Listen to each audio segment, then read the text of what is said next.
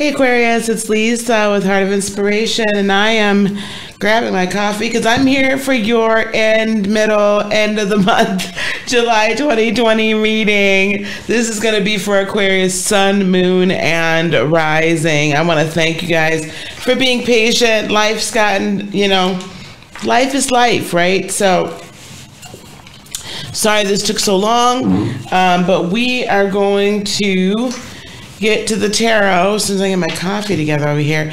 Let's just go and get to the tarot, okay? And so um, I'm gonna pull three. You've got I've got my stands.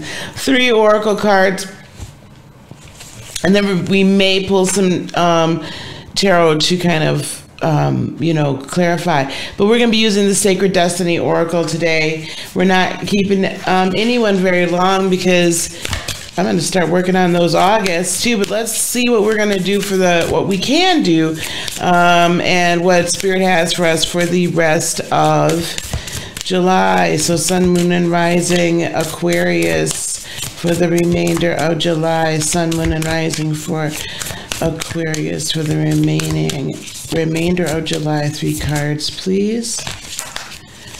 Oh, fulfillment came out for you. Now that came out for Cabbies.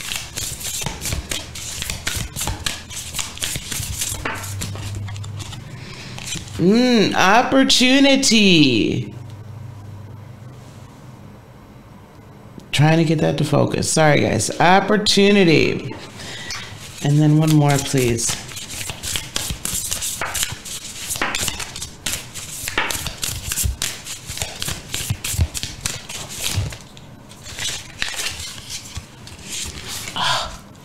Gateway. I love this. I love this. So Aquarians, um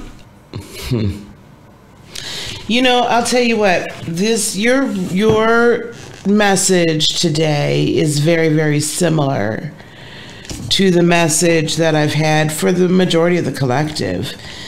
Um majority of all the zodiac signs in that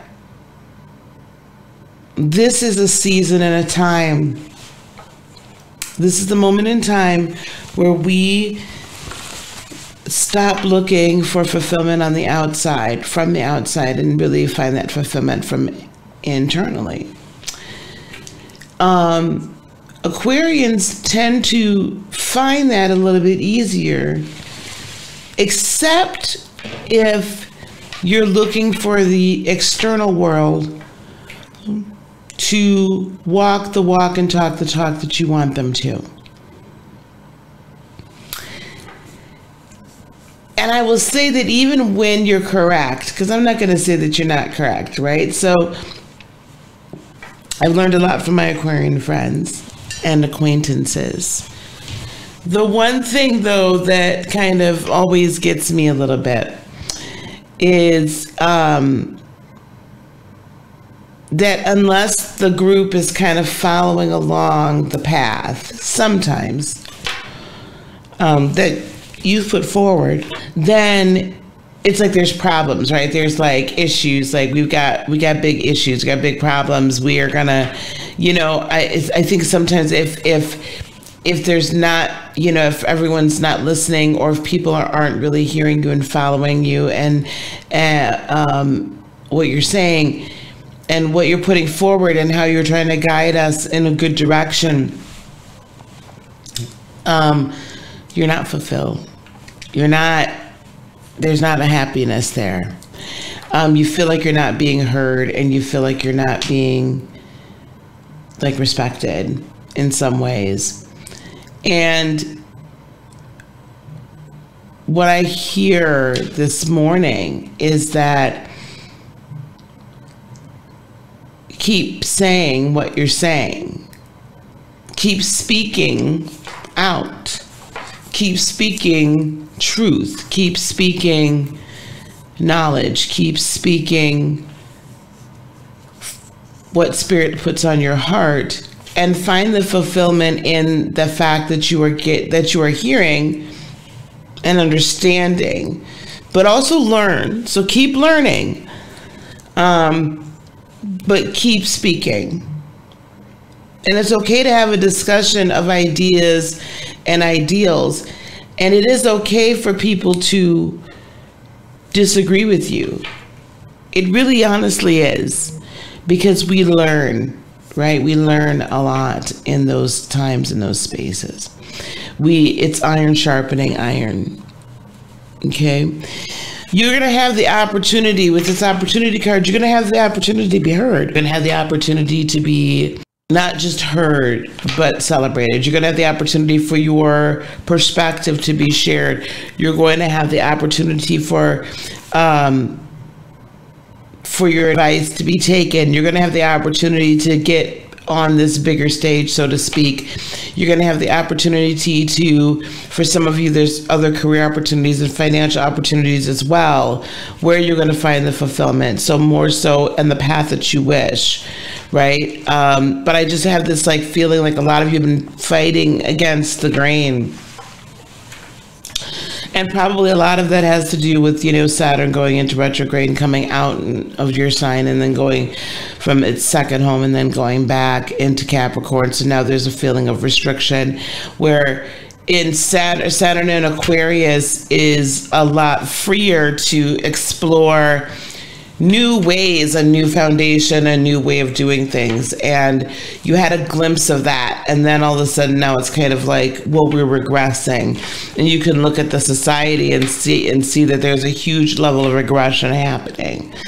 Um, where it looked as if we were going to be able to kind of, you know, we've got Elon Musk sending, you know, satellites with private citizens up there and up into space and you know a lot of things different like technology different things happening. And then all of a sudden we're now back into this like very primal rather medieval chaos and um, rage um, that's difficult for an aquarian to survive in because you're you're like higher thought, higher your evolutionary thinking and evolutionary action. Um, but you're going to have the opportunity coming up very soon. And so the the end of this month, really this gateway card, the end of this month is you preparing your own gateway. The end of this month is you kind of settling into you and understanding that even if nobody really understands or hears you right now, you're going to have that opportunity to do so, but you're going to have to find the fulfillment where you're you find fulfillment within yourself and define yourself by yourself. Don't define yourself by what your external is, right? Um, situation is you recreate your external situation by your you defining yourself. So you find your fulfillment, you create your opportunity, and you open up the door. You and Source together and co-creating, of course. But this is on you and not on everybody else. The way that you're gonna bust out into the world and help to change the world, the way you're gonna change your world is by going inward first before we go outward saying, do this, do that, do this, do that. Right? That's what we need to do first. So I hate, I shouldn't have said need. This is what you're being encouraged to do. You have your own choice. Um, but I want you to find fulfillment within because that is truly, that's true fulfillment. That's real long lasting, right? And in that regard, then you can open up. Then opportunities come to you because as you are fulfilled and steady and secure, you're not looking for external validation. And because you're not looking for external validation, you're able to more effectively allow your spirit to open up the gateways to the promise that's what I have for you, um, Aquarians. Thank you so very much. I really, really, really appreciate you being here. Um, leave me some comments. Let me know how you're. Let me know what's going on. If you want to work with me, go to heartofinspiration.net. That the link is down in the description box as well. And um, don't forget to like, subscribe, and share. Hit that bell button so you know when I'm putting up new content. Peace, love, blessings, and joy be unto you today, tomorrow, and for all eternity. I love you so much. Namaste. Bye bye.